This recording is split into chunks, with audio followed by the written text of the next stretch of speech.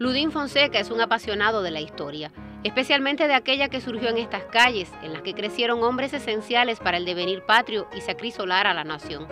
El intelectual estudió historia en la Universidad de Oriente durante el tiempo difícil del periodo especial.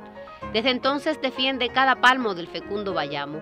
Primero lo hizo como investigador de la Casa de la Nacionalidad Cubana, luego desde su puesto de historiador de la segunda villa fundada en el país por los españoles.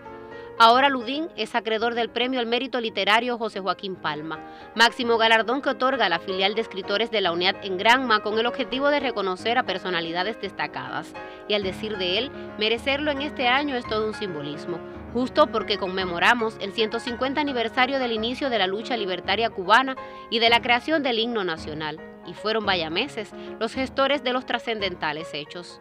Creo que el, premio José Joaquín Palma eh, se ha convertido en uno de los premios más importantes que, otorga la UNIAD y que cualquier escritor eh, se siente orgulloso de que le otorguen dicho premio. La labor historiográfica que he desarrollado la divido en dos líneas.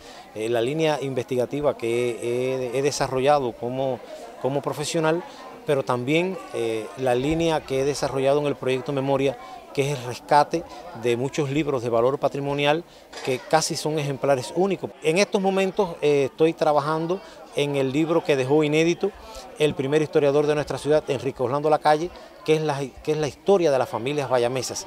Entonces, eh, es un libro muy complejo porque la calle lo que dejó fueron planillas y se ha tenido que digitalizar toda la información, cotejar toda la información y eh, eh, he, querido preparar este libro para esta fecha porque eh, coincide con el inicio del proceso independentista cubano.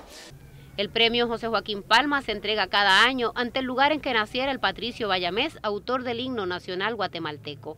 Honra a ese notable poeta independentista y se concede a creadores miembros de la UNED residentes en este territorio oriental con una destacada, permanente y reconocida labor literaria. En Gran Maya, Jacqueline Pérez, Noticiero Cultural.